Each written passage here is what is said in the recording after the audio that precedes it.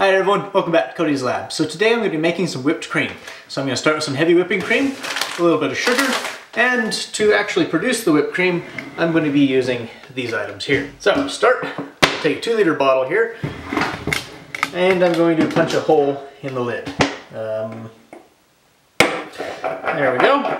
Punch the uh, nice little hole in the lid. Now I can take this uh, Schrader valve here, stick it in there, just like so.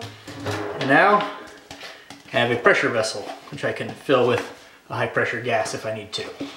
So now let's take this, put in a little bit of the sugar. Okay, there's my sugar. And now a little bit of heavy whipping cream. That should do it. Get rid of all the dust on the table, a little bit of stir, put on the valve, and now I've got to pressurize this with some sort of gas that'll dissolve into the fatty liquid without being toxic. And then so that when I release the gas, it'll like expand and make it all fluffy. How about some medical grade nitrous oxide? Now that I have my N2O, I'm going to use the same method that I used to pressurize my Stirling engine with helium. I'm using this little transfer pump to move the gases into this bottle.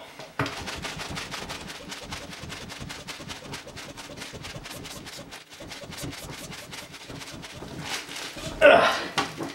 Okay, there we go. The nitrous oxide is now inside the bottle, dissolving into the cream. Perfect, let's see what pressure we're at here. Looks like 45 psi, so that's the equivalent pressure of inside of a car tire. Looks like it's already creamy. Alright, let's let this uh, dissolve into there for a little longer. Let's see if we can make some whipped cream. Okay, so let's get myself a cookie out and a little piece of wire to trigger the valve. Let's see if we get some whipped cream. And we do. Excellent. Let's give this a try. That's perfect. Oh.